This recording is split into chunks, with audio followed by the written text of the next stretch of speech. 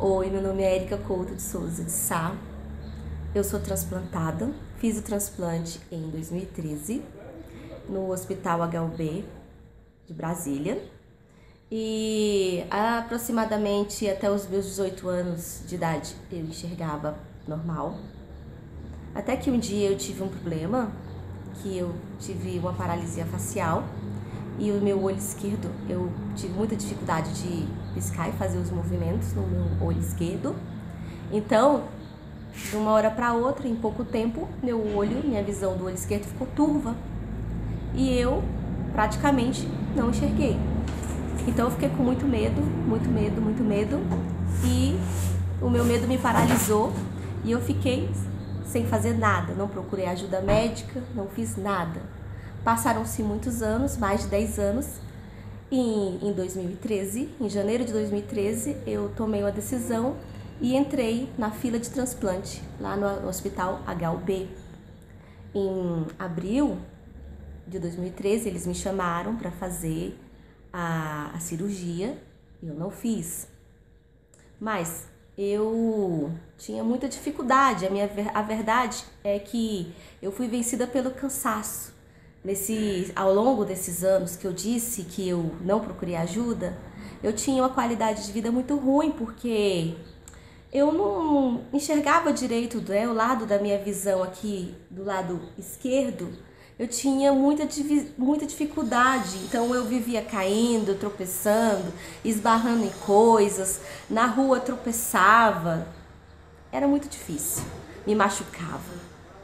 E eu fui vencida pelo cansaço. Até que então eu fiz a cirurgia, não em abril, porque eu estava na cursando a faculdade de pedagogia e eu precisava concluir.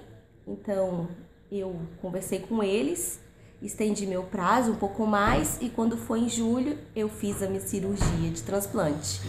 E foi muito bom porque depois disso fiquei algum tempo, né, o meu período lá de recuperação e foi excelente para mim, porque eu tenho uma qualidade de vida muito boa hoje.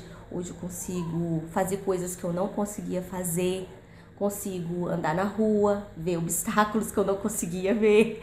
Eu parei de cair no meio da rua. Eu parei de tropeçar em coisas que eu não via no meio da rua. Eu parei de me esbarrar nas coisas que eu não via.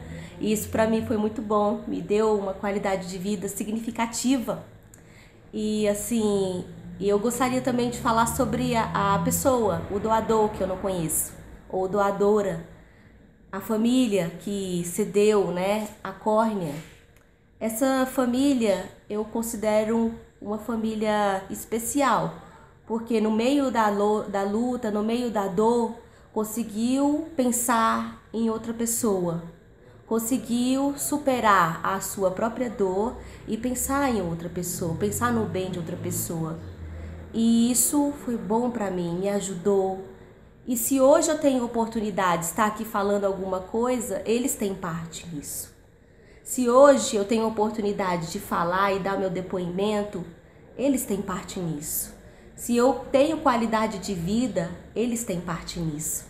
E eu sou muito grata, mesmo sem saber quem eles são, mesmo sem saber de onde são, se são daqui de Brasília, se não são. Eu não sei de onde eles são. Mas eu quero dizer que eu quero agradecer, mesmo sem saber quem são. Porque eu hoje posso ver